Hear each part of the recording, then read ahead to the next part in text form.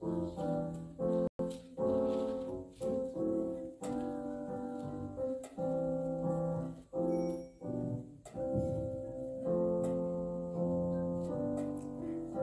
evening, New Beginning Church and our online family and friends.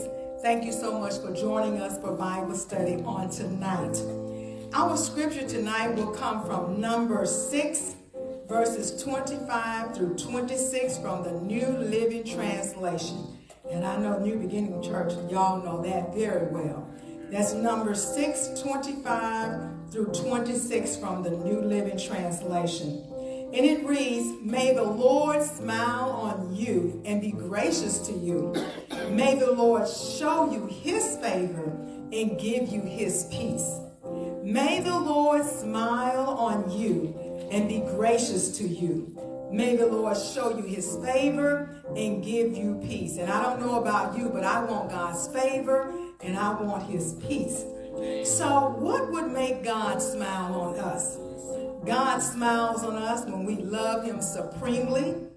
God smiles on us when we trust him completely. God smiles on us when we obey him wholeheartedly. God smiles on us when we praise and thank him.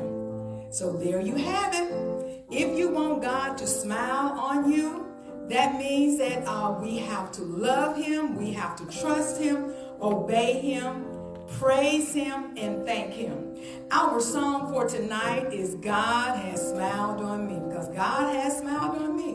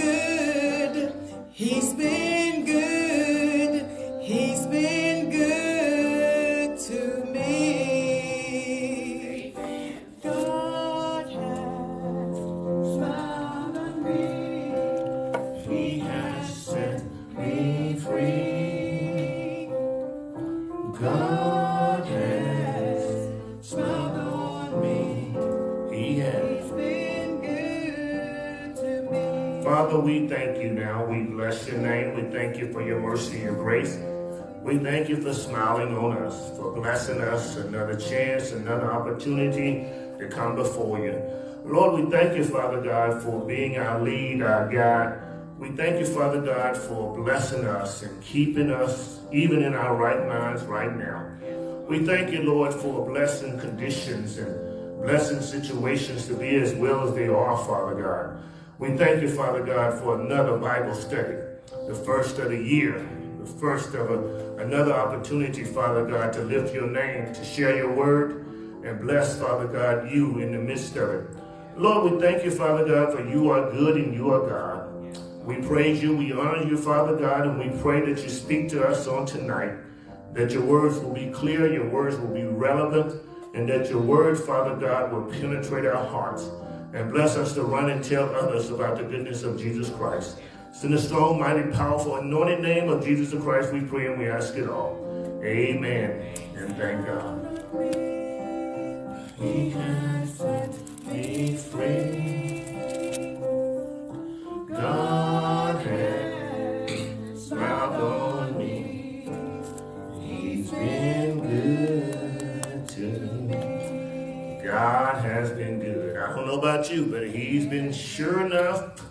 At home, they would say, sure enough good. He has been sure enough good to me. Amen. Thank you, Sophia. Thank you, Sophia, for being our maestro for tonight. Well, we thank God for Sophia. Amen. Hallelujah to the Lamb. Our attention tonight will be on prayer. This is our month of prayer, the whole month of January. On Wednesday night, we focus on prayer. So our scripture for tonight will be found in Luke chapter 11 in the New Testament. Luke chapter 11. We will land on verses 5 through 10. Luke chapter 11, verses 5 through 10. And the Lord has spoken in a new way to me when I read this particular pericope. And I want to share it with somebody tonight. I want to share I want to share what God has said to me on tonight. I want to share my convictions of Jesus the Christ. And that's what we ought to be about. We ought to be about sharing our convictions of what we believe about the Christ. Amen. Amen. So I want to share again. Thank you for the opportunity to share with you uh, my convictions on tonight. When you look at Luke chapter 11, it begins with the model prayer. This is the model prayer, not the Lord's Prayer. Uh, Matthew chapter 6 and Luke chapter 11 tells us about the model prayer. This prayer that Jesus taught his disciples to pray. It is the model prayer. It is the example of prayer.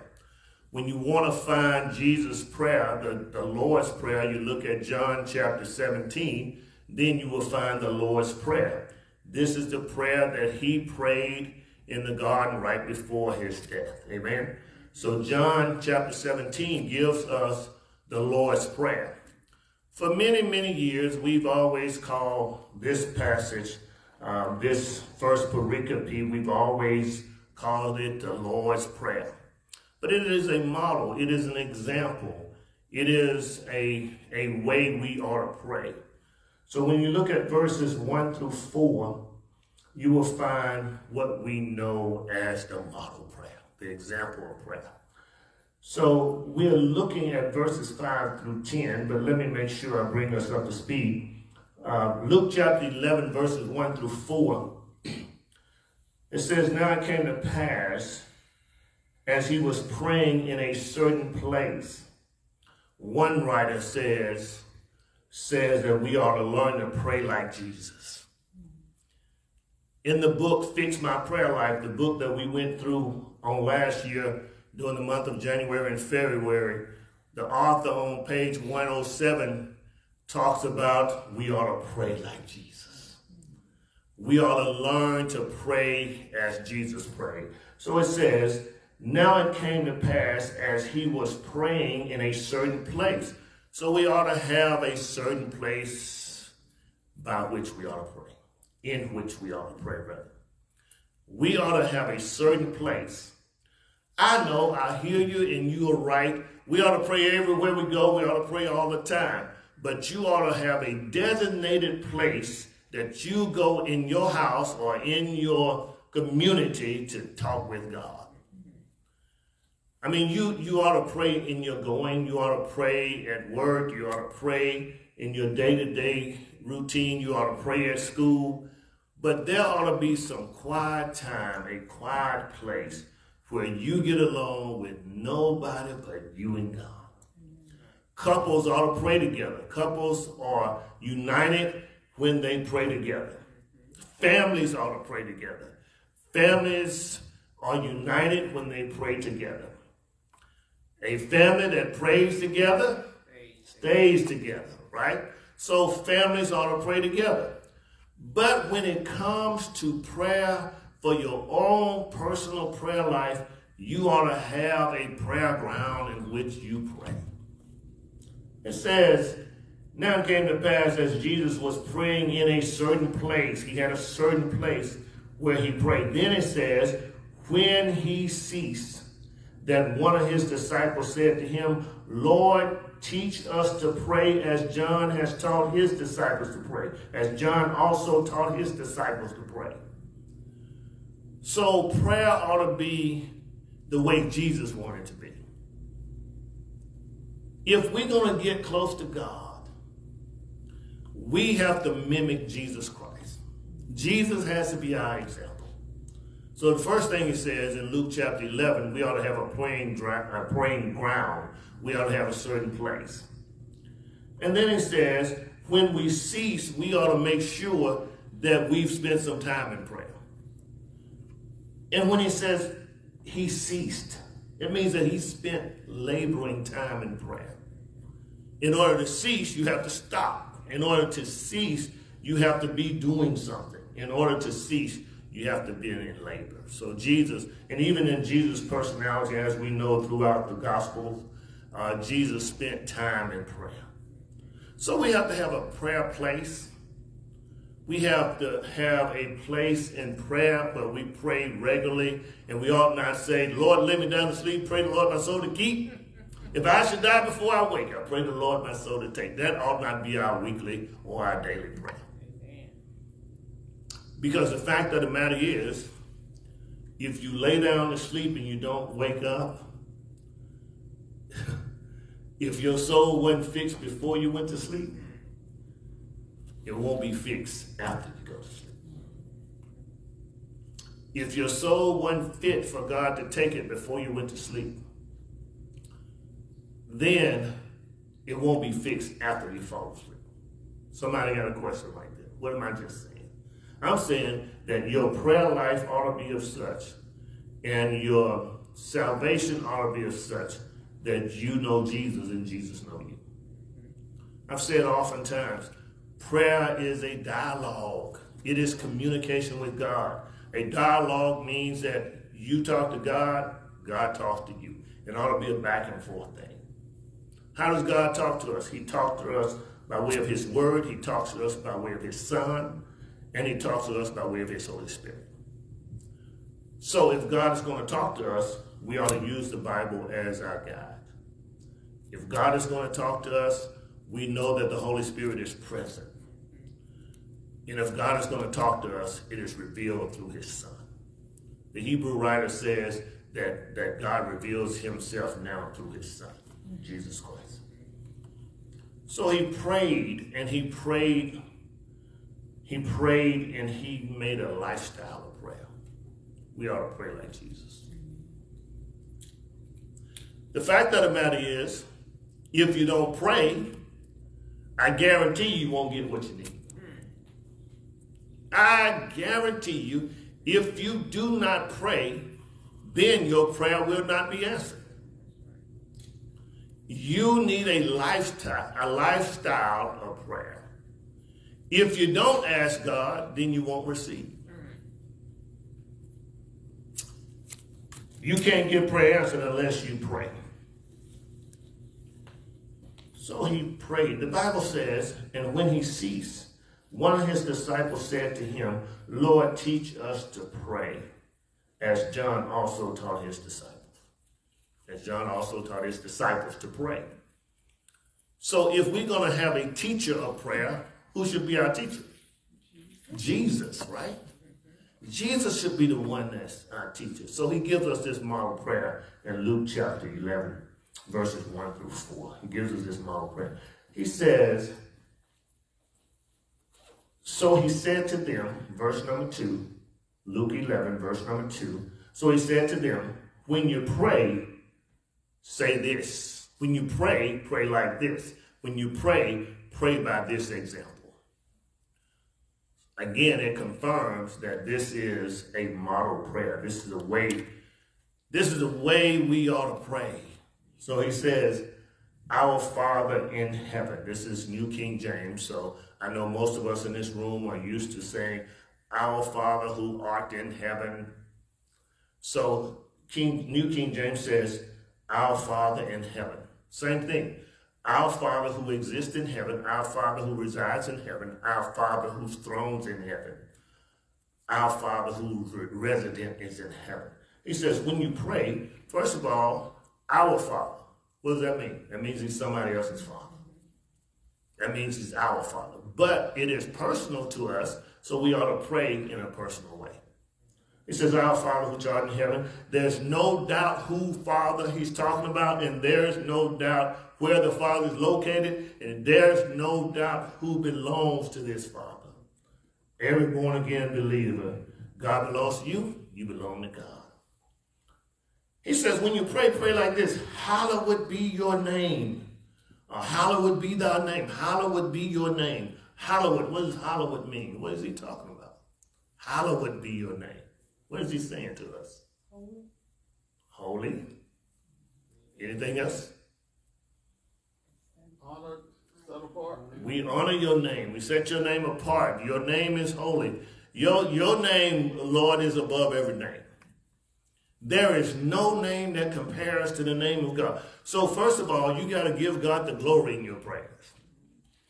Every time you begin your prayer, you ought to begin by honoring God. So I honor God. God, I honor you today. God, you are God. Now, this is to God, regardless if he gave you what you want. This is God that you're rejoicing in him even because of who he is, not what he's done. We know he's an awesome God. We know he's done great things. But God, we want to honor you because you are just God. Amen. Because he's God. I mean, the church ought to catch on fire when we honor God. When we praise him, when we glorify him. The church ought to catch on fire. We ought to glorify God in our bad times, in our struggling times. When we've been begging God, we go, I dare you to glorify him. I dare you to honor him.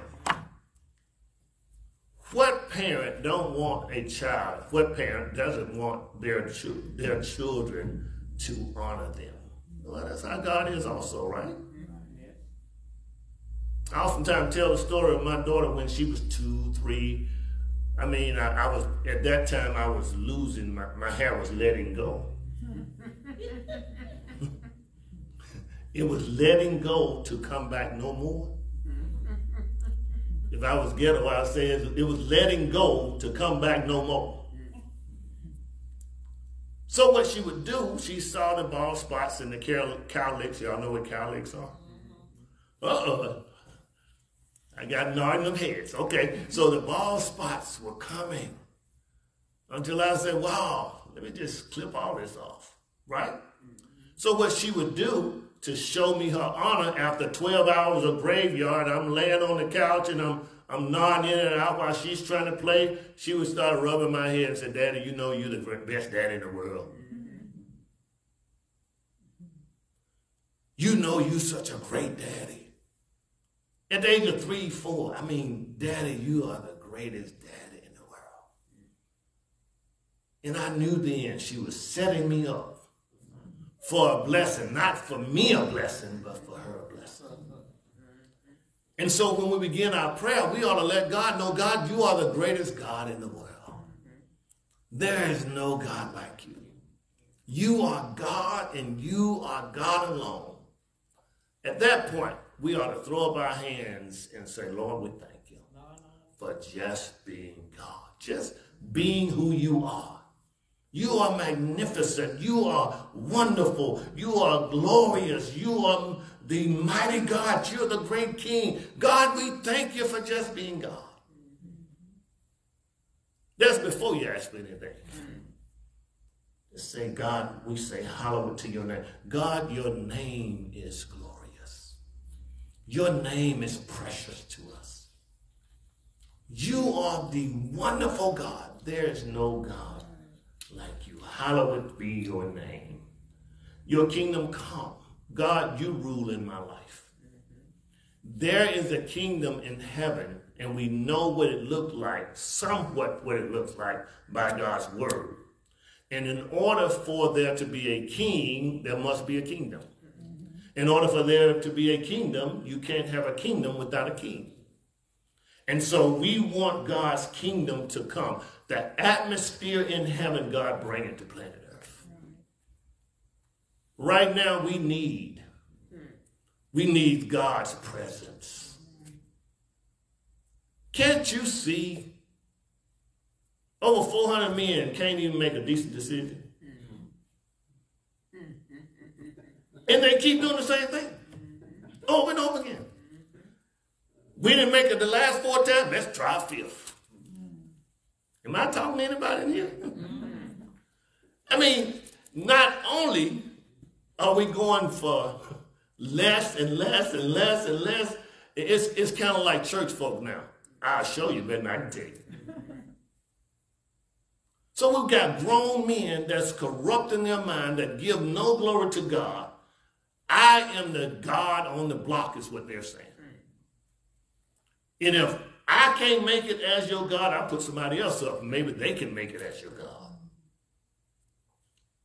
But we want God's atmosphere on heaven.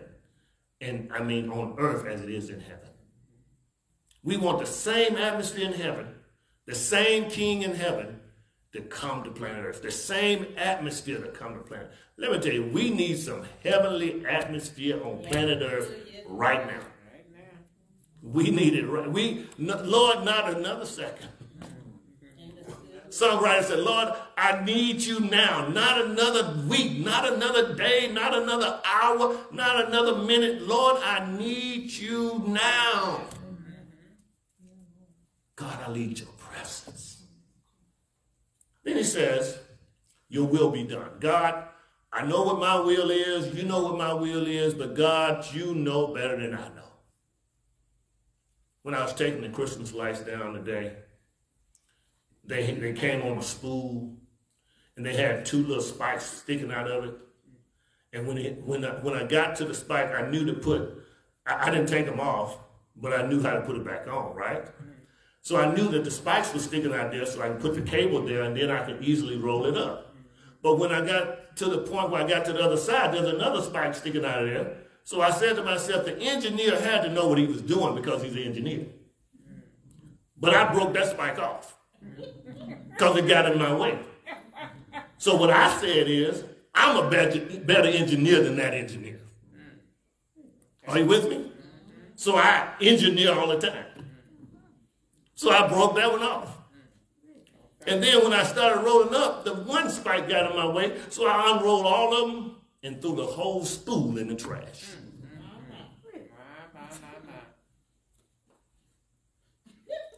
All she wanted was to get them off.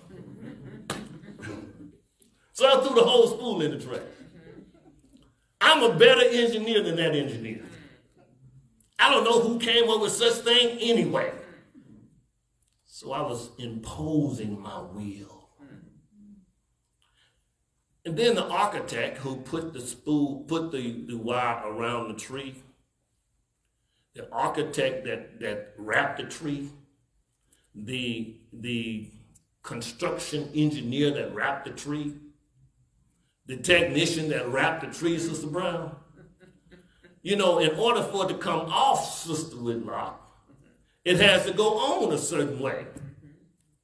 So I'm trying to take it off, and then I realized it went up the tree, then around the tree, then it went back across the tree, then around the tree. I caught it. I caught trouble trying to get it. So I said, oh, heck, I'm going to wrap them up like I do an extension cord. I'll put them together, put them in a nice little compact box. So when I get ready to pull it out, I can take that in and it just come right on out. Because I'm a better engineer. And plus, I'm the one doing it. Are you with me? So, so I had to impose my will. And that's what we do today. We impose our will on God. Whereas we ought to be inviting God's will on planet Earth. We ought to say, God, This is what I want. This is how I want it. And this is when I want it. And Lord, I need you to do it. And some people, some places, and I prayed it too. Lord, I need you now. I need you right now. Lord, deliver in the name of Jesus. And we ought to pray that prayer. But we ought to do like Jesus. Remember, we're trying to learn how to pray like Jesus knows how to pray. Like Jesus prays, right? So we ought to come to the conclusion, not my will, your will be done. Who remember Jesus making that statement? Anybody? Did Jesus make that statement? Oh, I'm making it up. When did Jesus make that statement? When he played in the garden. What was happening when he prayed in the garden? Why would, why would he even have to say, not my will, your will?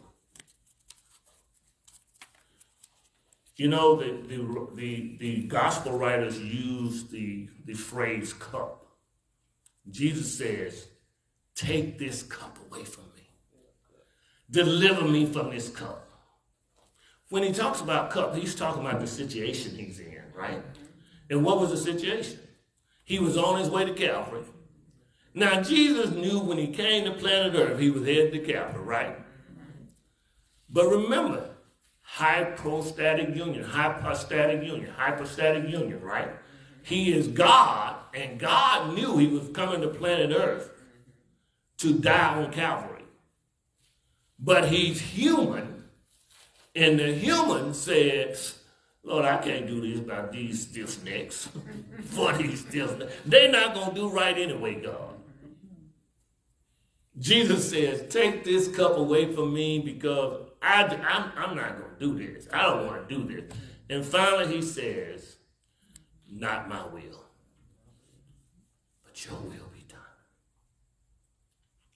So we ought to glorify God we ought to invite God's atmosphere, God's kingdom on earth.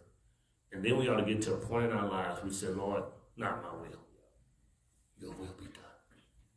And when I honestly prayed that prayer several times, guess what happened? God's will was better than my will. We walk out there and we do things or say things or act a certain way, but when we turn it over to God, we find out that God's will is better than ours. What God wants for us turns out in the end better for us.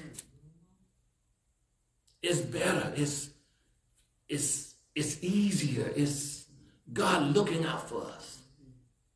And when God looks out for us, he looks way down the road. He has the finish line in sight before we even start running the race. I mean, you had to explain to your children every now and then that you, you got a better idea than they have. Hmm. have. Have anybody ever had to explain to their children, I know more about this thing called life than you do? God has really, believe it or not, Sophia, God has really placed children in families so families and adults can look out for those children. Believe that believe that parents really know what they're doing. Also believe that parents have made their mistakes and they don't want you to make the same mistakes. I mean, every mistake I made, I hid it from my parents. Because guess what? I didn't want them to say, I told you so. And when you're a parent, you got the right to say it. I didn't say if you're a wife. I said you when you're a parent, you got a right to see it. Y'all get that when you get home.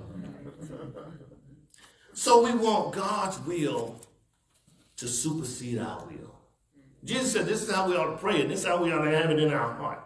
He says, Your will be done on earth as it is in heaven.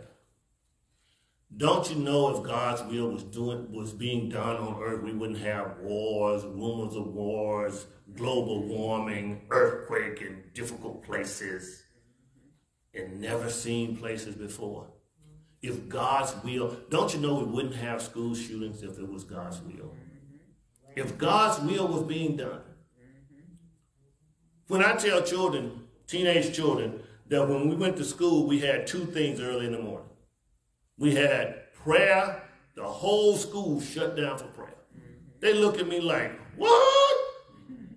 You are old. I said, you're right, because they hadn't done it for a long time. And then we would have the Pledge of Allegiance, right? So people really majored in calling on God when I was in school.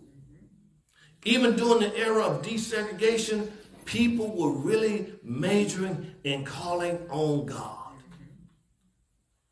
It was a thing that we knew going to happen. We knew it was going to happen. We knew when we got to school there was going to be a, a bell that warns you to come inside or tells you to come inside.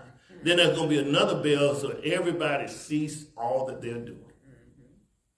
And they bow their head and call on God. The atmosphere, we didn't have any burglar alarms. We didn't, we didn't have, couldn't afford it, one thing. We didn't, we didn't have any metal detectors. And we didn't even have computers. Mm-hmm. You know I'm ancient. Mm-hmm.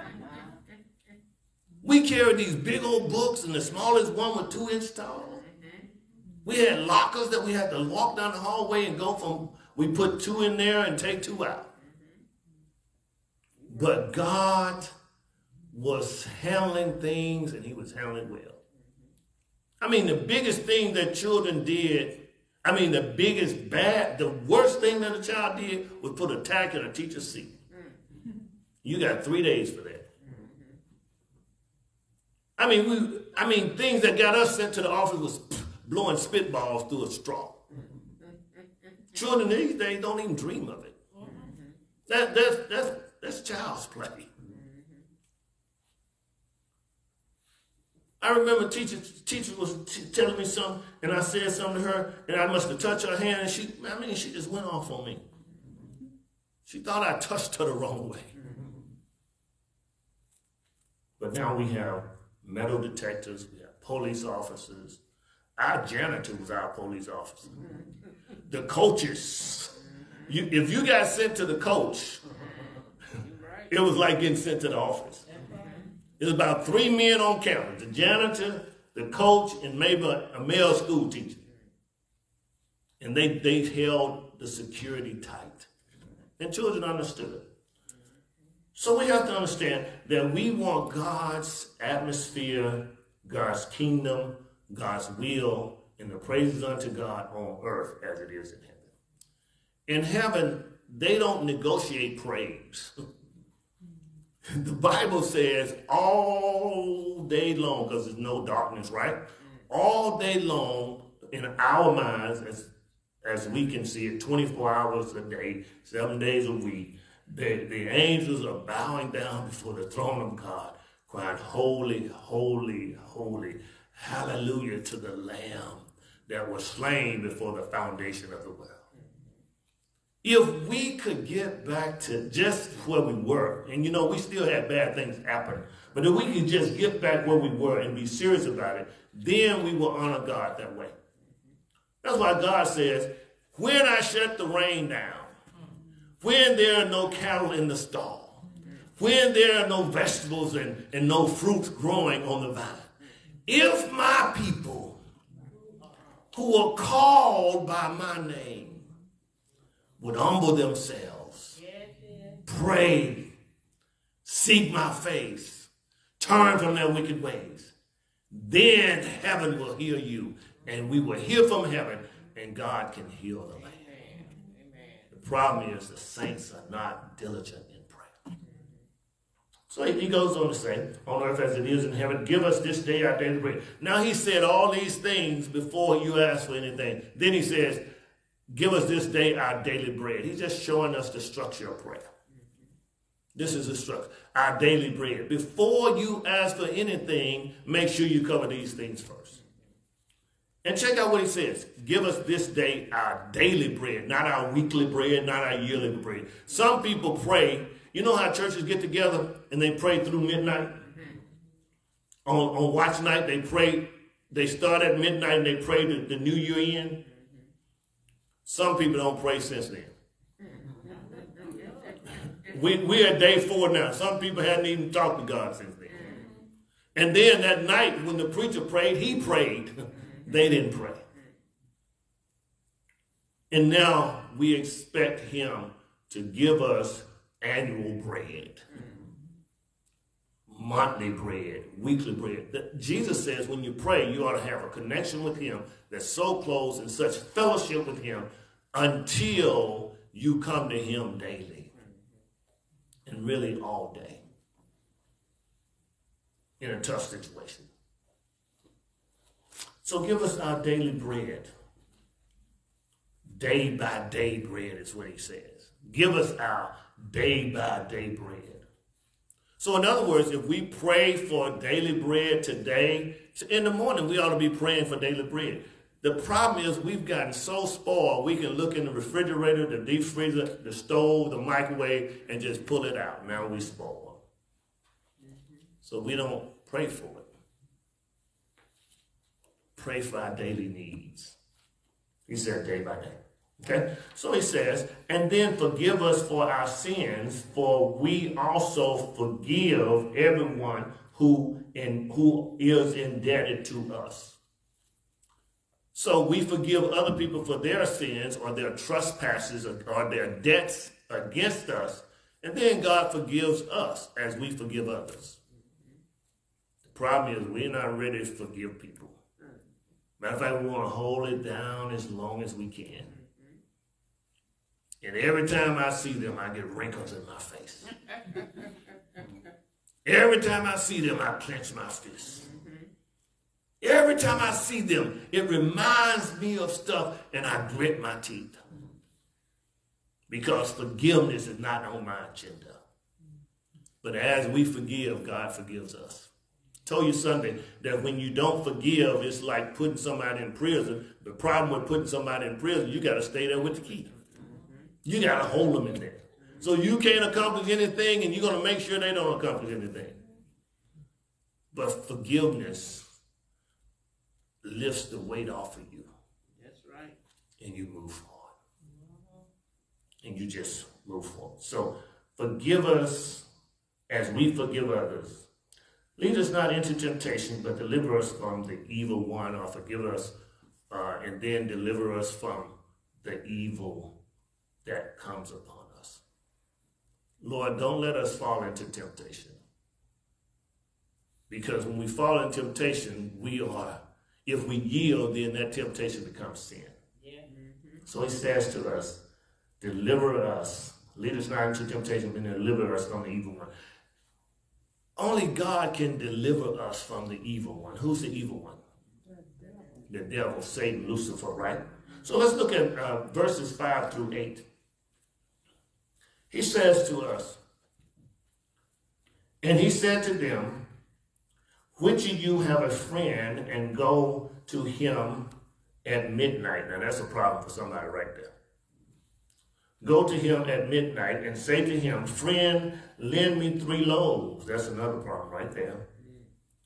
For a friend of mine has come to me on his journey, and I have nothing to set before him. Now you're asking me to give you something to give somebody else. That's another problem. Y'all see these issues here? this is the real issues here. Verse 7. And he will ask from within. He doesn't even, that's another problem. He doesn't even open the door and let me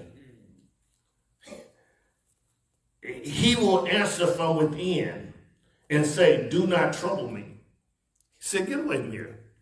It's another problem.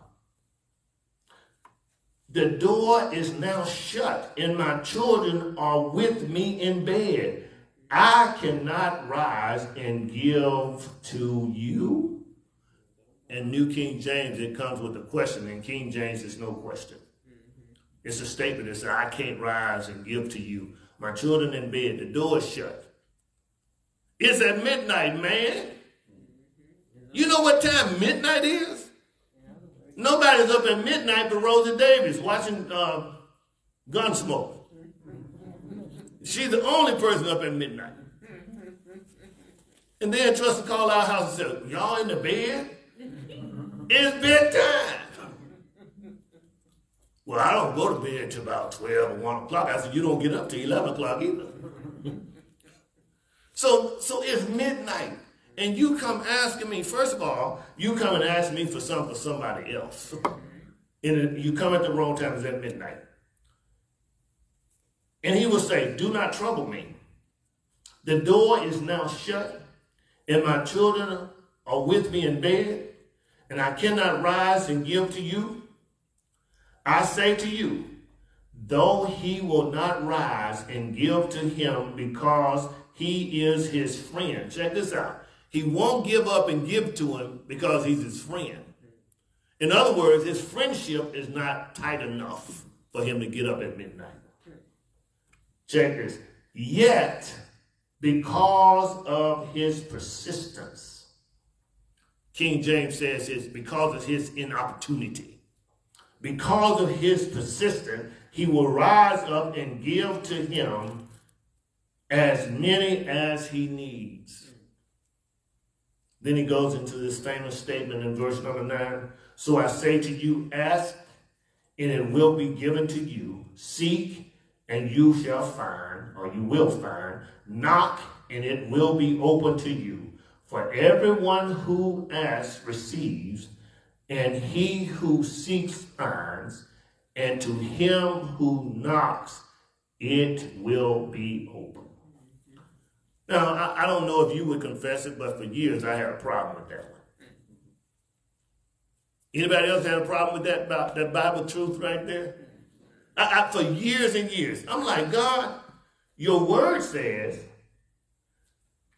for me to ask. And your word says, and it shall be given or it will be given to me. Lord, your word says for me to seek and I will find. Your word says, Lord, to knock and it will be open to me. For everyone who asks receives, and he who seeks finds, and to him who knocks it will be open. Anybody else ever had a problem with that? Let me tell you why I had a problem with it. I know y'all sanctimonious, I know y'all Christians, and y'all ain't gonna admit it, but let me let me be the heathen right now. I have a problem with it because I'm asking God and he ain't giving. I got a problem with it. I have a problem with it because I'm asking, he's not giving. I have a problem with it because I'm seeking and I'm not receiving. I have a problem with it because I'm knocking and the door is not open. But keep the pericope intact. Verses 1 all the way to verse number 10 is a part, it's two different pericopes, but it's a part. You got to keep the thread running. He's talking about prayer, right? He he compares, whether he contrasts the friend verses 5 through 10, he contrasts with this friend that won't give up, get up. But what Jesus is saying is that the God we serve will bless us regardless of the time of night. What Jesus is saying, the God we serve will bless us on behalf of blessing somebody else. You, you know the story of four friends taking, Jesus is preaching, and the crowd is there. And when the crowd is there, they can't get the, the impotent man in the door. They bring him on a bed. They go on top of the roof and take the shingles off. We know that shingles today.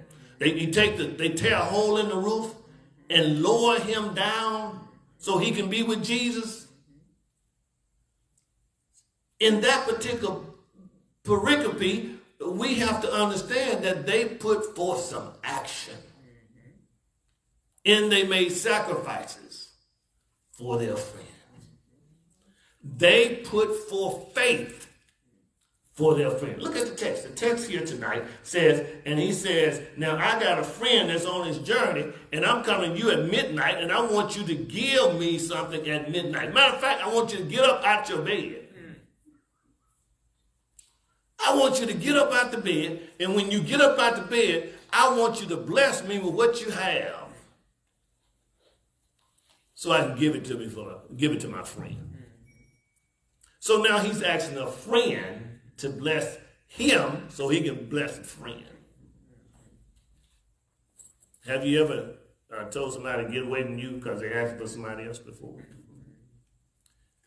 Keep the pericope intact when we pray, we ought not just pray for ourselves. We ought not just pray for our families.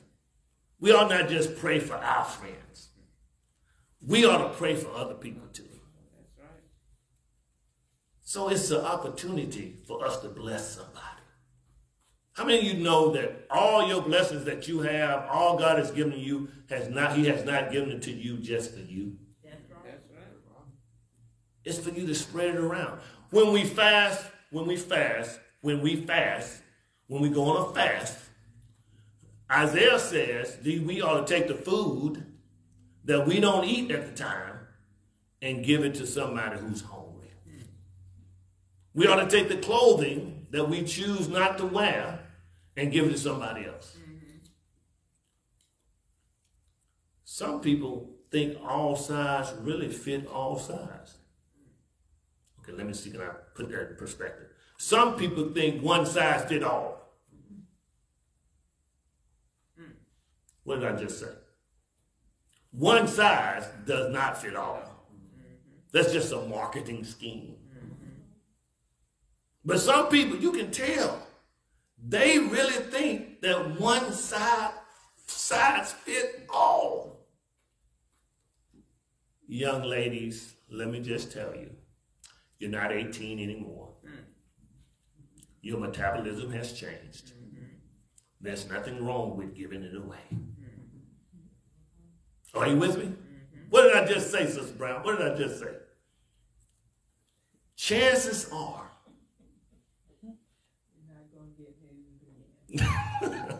chances are, what am I saying, Sister Whitlock? Chances are. What am I saying? I think I think you're saying if you haven't uh, warned it and all that time, that's I, that's something I said to myself today. Mm. Um, you know, you not know you're not gonna get back in there. So give it. Okay. If you ain't gonna get back in it, give it to somebody. If you've been there six months and you hadn't you hadn't tried it on, You right? You can't get in. some people got three deep freezers. Y'all know what a deep freezer is? Some people have three deep freezers. They waiting on Armageddon to show up, I guess. The Bible teaches bless someone else. That's right. Bless somebody else. You can't eat it all. You can't drink it all. You can't wear it all. Can't see it all. Be a blessing. Bless somebody else. Have you blessed anybody lately? Have you been a blessing? And now let me just tell you, don't bless somebody with something you don't want. Don't don't just drag everything out and do your spring cleaning and give it to somebody.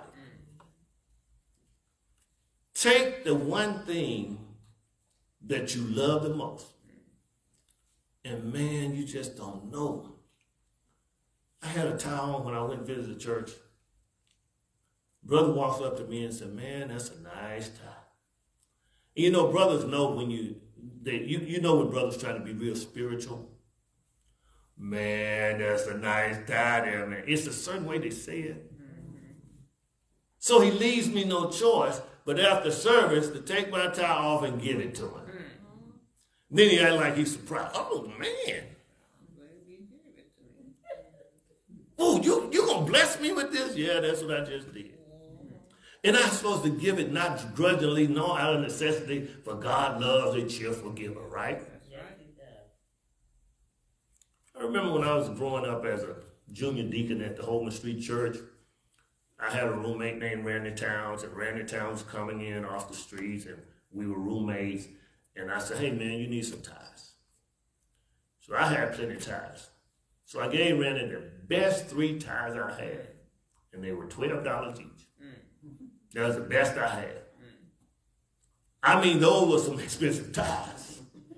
I'm talking about in the 80s. Come on, y'all. They were expensive ties. They were $12 ties. And I gave it to him. So, man, this is what you need. Gave it to him. I, I mean, I enjoyed giving it to him. And it was not a whole week later. I go to church. Deacon Johnny Foster walks up to me and said, Man, you need some new tires. I said, I sure do. And he had three tires. I gave away three. He had three tires still in the box. And if you know Brother Foster, Brother, Brother Miles, he left the tags on him. This man gave me $45 tithe. I've never seen that before in my life. I've seen them in the store, but I never had any. I know that's right. So after I blessed him, then he blessed me. And what you give, give more. When you plant a seed, a whole bushel of butter beans show up. I mean, some $45 tithes. $45 each. Brother Whitlock, you should have seen me skipping. oh man, I got some, I'm rich now with tithes. I got three $45 tithes. And they respect Grand Rue had not been around anybody's neck. So God, God is looking forward to us blessing others. As we pray, we ought to pray for others. So he says, this man refused to get up just because he was his friend. He says, don't trouble me. I can't rise and give to you. I say to you, this is Jesus. Jesus says, I'm saying to you that what you need to understand, though he would not rise to give because he was his friend, he did not give because he was his friend. See, spirituality goes further than friendship. When you're walking with God, you understand what God is doing. It goes further than we can even imagine or think. He said he would not give it to him because he was friend, yet because of his persistence. He will rise and give him, check this out, as many as he has need. He will give as many as he has. God will bless us to, to fit the need of somebody else. But remember, this is prayer. This is prayer. And prayer, the point here is he wants you to pray with persistence. I know some churches, they said pray and bring it to the altar and leave it there. Let me tell you, if I really want something, I'm going to bombard heaven. Oh. I mean, the angels going to be going back and forth from earth to heaven because I'm going to say, Lord, here I am again. I'm asking again. Mm-hmm. He says, when you pray, you ought to bombard heaven. You ought to be persistent. You ought not give up. Mm-hmm. You ought to keep working. Keep looking forward to it. Prepare for it. Mm-hmm. You ought to prepare for it. Keep preparing for it. Keep people think you're crazy when you start preparing for stuff they don't see. I mean, Noah preached over and over for years and years. It's gonna rain. He started building a boat. It's gonna rain. It's gonna rain. Rain had never fallen from the sky. It was rain coming from the earth, like a sprinkler system. It's gonna rain. It's gonna rain. Noah kept the faith, kept building the ark, and rain began to fall. And when it began to rain, they knocked. The songwriter says they knocked on the door and said, "Can we get in?" And the songwriter said, Noah says, you cannot get in. God got the key and you can't get in. This kind of faith we have to have in prayer. Have to be persistent. Be persistent. Be persistent.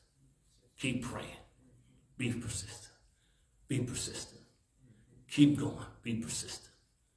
Pray. Pray. Pray. Now, don't wait till you want something to start praying and being persistent. Be persistent in your fellowship with God. God, I want to know you. Remember, verses 1 through 5 is all about knowing God and God knowing you. We not, and then when you look at Psalm 139, the Bible teaches that God showed his ways to Moses. He showed his ways to Moses, but he showed the miracles to the children of Israel. You know why? The leader has to know God's ways. Because the people just looking for the blessings. We have to have fellowship with God so much so until we know God's ways. And when somebody come to you and, and they tell you they got a revelation from God, you can say, no, that ain't God. You got a revelation from somewhere, but it wasn't from God. And you know what always intrigued me is that all these modern day prophets, they only speak great things to you. Because speaking good things to you means ching ching. The prophets of old, they spoke stuff like this. In the morning when you wake up, in the morning when we wake up, your head will be decapitated and birds will be eating out your neck. We don't have those kind of problems anymore, right? Everything is uh, pretty and nice and you're gonna have you're gonna be rich in the morning. God gonna, gonna have money to chase you down. If you living for money, you already behind. When you live for favor, money will come. Amen. And see, when you have favor with God, you're not really concerned about money because you God will fix the situation where money is not a problem. Because he will give you things that won't cost you anything. It's because he's God. So our prayer should be persistent, persistent, persistent. As we end tonight, we want to make sure that we we pray for families and friends. I ask one of you to come and lead us in prayer, and then I will close us out in prayer. Just praying for family, your family, your friends, praying for people that you know need prayer. We certainly want to pray for the, the Ferguson family. Uh, Melanie Ferguson transitioned. We were at Holman Street, she was Melanie Matthews. And so we want to pray for her two girls. We want to pray that God blesses blesses her girls. And, and Melanie was my age. Some of y'all said she was old. she was my age. And um, people are leaving planet Earth regardless of their age. And so we want to pray for the Ferguson family. And so let me get one person to come and pray for for families and friends. One person. Any volunteer want to pray for families and friends. Anybody wants to play, We have four nights on Wednesday nights to pray. So somebody say, let me get mine over with. I want that person to come who will pray for family and friends. Anybody. You can come as a couple. You can come individual. Uh, somebody come on pray as we as we come to the end of our, our night. Anybody? See one person moving? All right, that person doesn't move anymore this, this month now.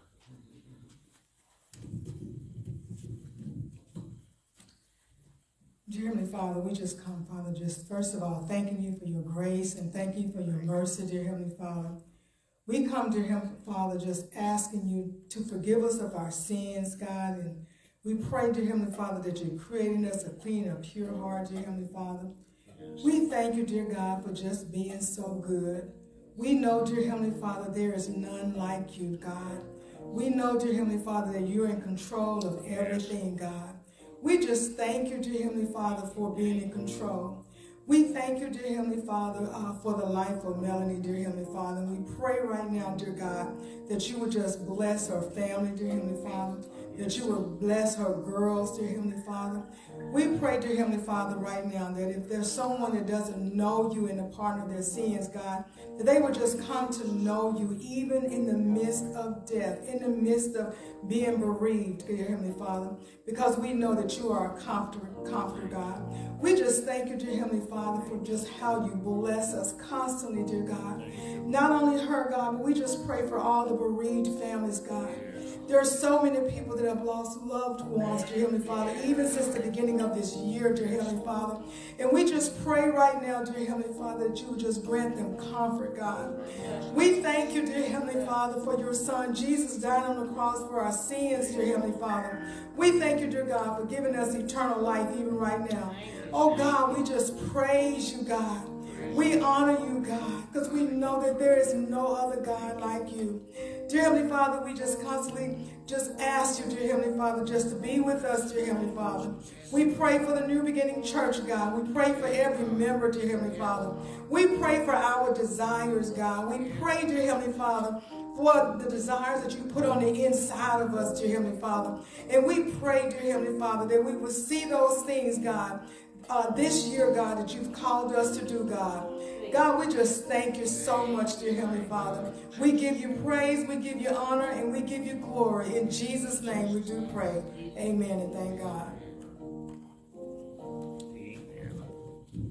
If you're present uh, on the air or in, in the room and you've never received Jesus Christ as your Savior, this is your moment. This is an opportunity to get to know Him. You can just believe the story. The story is that Jesus died on Calvary. He was buried in a borrowed tomb. And early that third day morning, He rose from the dead. If you would like to go to heaven, why don't you bow your head with me and invite Jesus Christ into your life? Just repeat this after me. Lord Jesus, I believe that you are the Son of God. I believe that you rose from the dead. Now come into my life. Make me a new person. Thank you for saving my soul. In Jesus' name I pray. Amen and thank God. We believe that you're on your way to heaven if you honestly prayed this prayer, believing the story that Jesus died and rose again. We thank you for joining us here tonight. We thank you for joining our Bible study. Please feel free to join us in Bible study at 7.15 every Wednesday night. Join us on Sunday morning for Sunday school at 9 a.m. and for our worship service at 10.30 a.m. Again, thank you for joining us. Father God, we thank you now, Lord. We bless your name. We thank you for your mercy and your grace. We come to this week of prayer. We come to this moment of prayer. We come to this teaching of prayer. We ask you to be with us and bless us. Lord, we ask you to give our church a hunger, a thirst for righteousness, a hunger, a thirst for your word, a hunger, a thirst for prayer. Bless us, Father God, to praise you in all that we do. And bless us to reach souls for Jesus Christ. Bless our church to be a beacon light for others to see, that we will glorify your name in everything. Now unto him who is able to keep us from falling, unto him the only wise and only true God, unto him be power, be glory, and dominion. Until we meet again, let us say amen. If you want to give to the New Beginning Church, you can do, do so by giving by way of Zelle. Our Zelle account is lifting.jesus at yahoo.com. Lifting.jesus at yahoo.com. Or uh, you can mail in your gift to P.O. Box 503, Missouri City, Texas. That's P.O. Box 503, Missouri City, Texas 77459. Again, thank you so much for joining us. Thank you for being a part of our service. If you want to join a New Beginning Church, please let us know, and we'll be glad to welcome you to the family of faith. Amen. Come to Jesus. Just now.